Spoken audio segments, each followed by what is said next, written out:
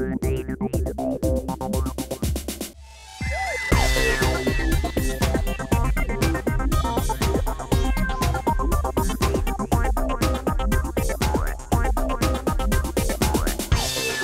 morning. My name is Todd West. I'm the sales manager at Aerospace Optics. I hope, as most of you know, we're the designer and manufacturer of the Vivisun push-button lighted switches and indicators. And today I will show you that we make more than just a switch. I'm happy to be here today and thrilled to introduce the new Vivisun solid-state relay. The SSR is the first product in our new Vivisun Integration Pack, or VIP series. The new VIP series joins the Vivisun Logic series, which we introduced over the last couple of years, including the push-button rotary, the electronic latch, and the pulse timer. So now that I have you totally confused, let me take it a step further. Both the Logic series and the VIP series are housed in the Vivisun multifunction body, or MFB. So what's an MFB? The MFB uh, is our standard two-pole or four-pole switch housing. Either one can be used depending on how many switch poles you need combined with how many VIP series or Logic series modules or both you need for your system design. All of these different components are designed to work together to provide space-saving solutions to your complex designs. So that should be clear as mud to everyone, but if you have questions, come by the booth and we can spend more time on it. So let's go back to the SSR.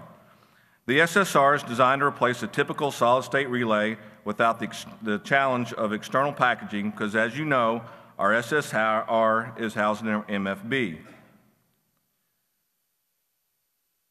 As you will see here, the SSR takes the place of a single switch pole. So this means that you can utilize up to four SSRs in one of our four-pole switch bodies or up to two SSRs in our two-pole MFB. Okay, let me highlight a few of the technical details of the SSR. It sources up to three quarters of an amp AC or DC.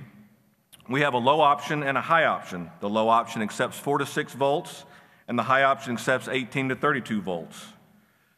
It provides output switching up to 32 volts DC or 28 volts AC. And finally, there is optical isolation between the input activation and the switch signal. Now let's talk about the functionality of the SSR. I'd like to show you some of the ways the SSR is already being used in the general aviation industry. This first example illustrates how an input ground can be switched to provide power or a signal. This provides a simple method of reversing polarity, power to ground, or ground to power. Looking again at the same example using high side switching, please take note that the SSR has optical isolation between the input activation and the switch signal. This provides a sneak path free system design. This next example demonstrates interfacing logic level input to 28 volts DC aircraft powered systems. The SSR has the ability to accept low level, low current signals and interface them to aircraft powered systems.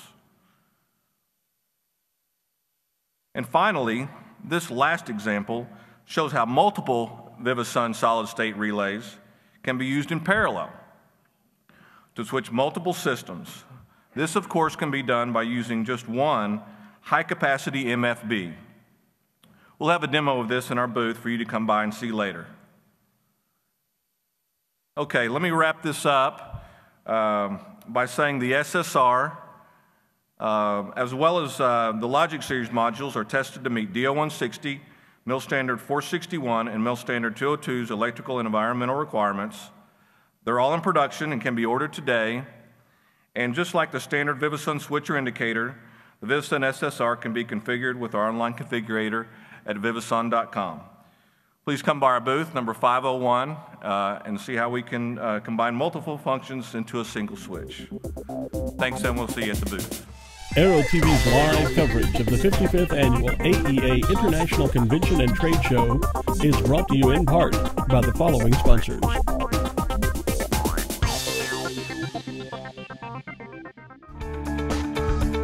The Evolution Flight Display System from Aspen Avionics delivers unique reliability and safety features to GA pilots and is truly the most flexible and affordable EFIS available. Aspen Avionics, a new way to look at avionics.